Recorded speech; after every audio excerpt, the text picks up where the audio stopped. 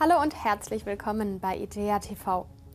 Die Deutsche Krankenhausgesellschaft fordert in einer aktuellen Stellungnahme die sofortige Aussetzung der einrichtungsbezogenen Impfpflicht. Es sei den Beschäftigten in Krankenhäusern nicht mehr vermittelbar, warum für sie eine Verpflichtung zur Corona-Impfung bestehe, für Patienten und Besucher aber nicht. Außerdem befürchtet der Verband, dass sich der Fachkräftemangel dadurch noch weiter verschärft. Evangelische Kirchenmitglieder, bei denen ihr christlicher Glaube im Leben eine zentrale Rolle spielt, haben weniger Vorurteile als andere Menschen. Zu diesem Ergebnis kommt eine aktuelle Studie, die die Evangelische Kirche in Deutschland in Auftrag gegeben hat. Sie wurde durch das Sozialwissenschaftliche Institut der EKD begleitet. Leistungsdruck auf der Arbeit, private Verpflichtungen, hohe eigene Ansprüche. Es gibt viele Dinge, weshalb sich Menschen gestresst fühlen.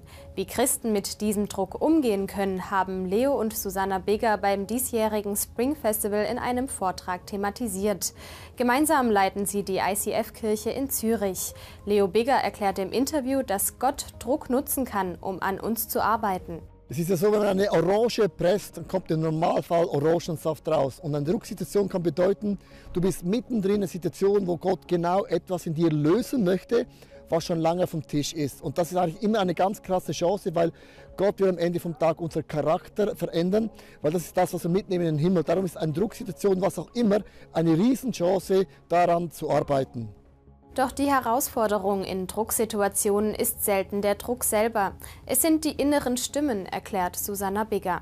Also wie Christen mit Druck umgehen können, ist das gleiche Prinzip wie bei den Sportlern. Weil Sportler sagen, die Situation an und für sich ist nicht das Problem, sondern es sind die inneren Stimmen. Und wenn man diesen inneren Stimmen nichts entgegenzuhalten hat, dann hat man bereits verloren. Und ich finde, bei uns Christen ist es dasselbe. Wir haben auch so innere Stimme, die mit irgendwelchen Dingen kommen, mit Ansprüchen oder was auch immer. Und wenn ich diesen Stimmen nichts entgegenzuhalten habe, habe wie zum Beispiel Bibelverse, göttliche Wahrheiten, dann habe ich bereits verloren.